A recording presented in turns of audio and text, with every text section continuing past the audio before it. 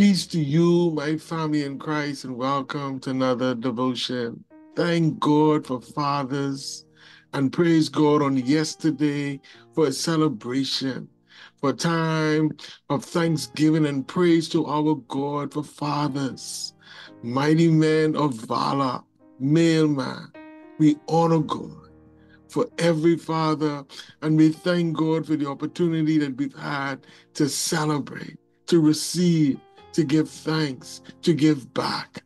What a mighty God we serve, fathers. And we honor God for you.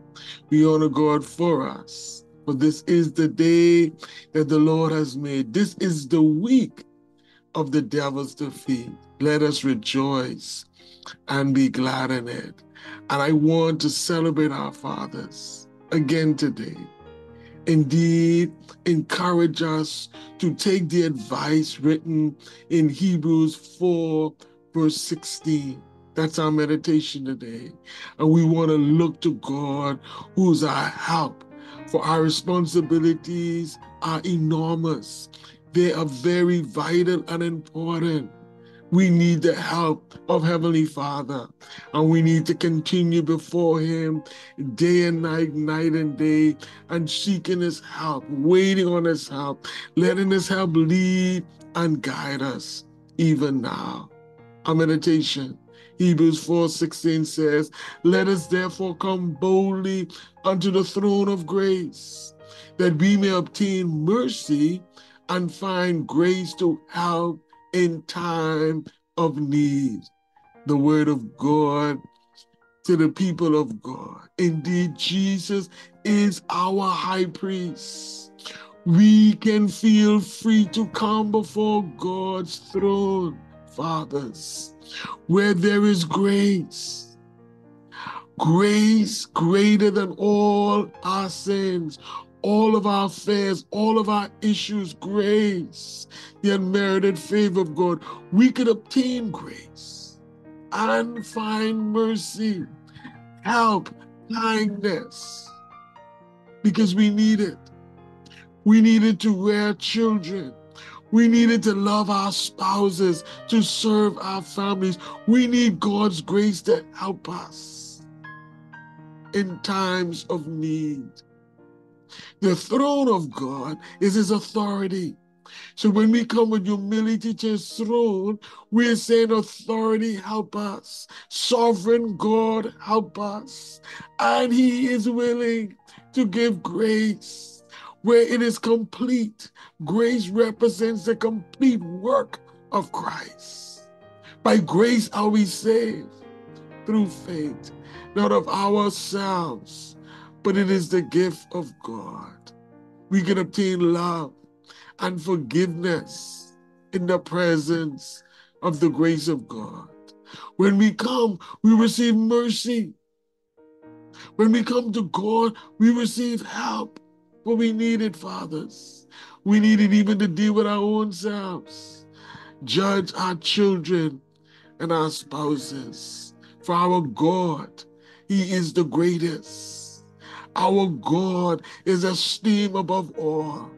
Our God is perfect in his character. Our God is gracious. He is wonderful. He is magnificent. We can obtain grace from him, but we got to come to him. We got to come to him humble. We got to come to Him, indeed, giving ourselves over completely to Him. And He hears us and He rewards us even now. Father, we thank you for every earthly father today. We praise you even in celebration.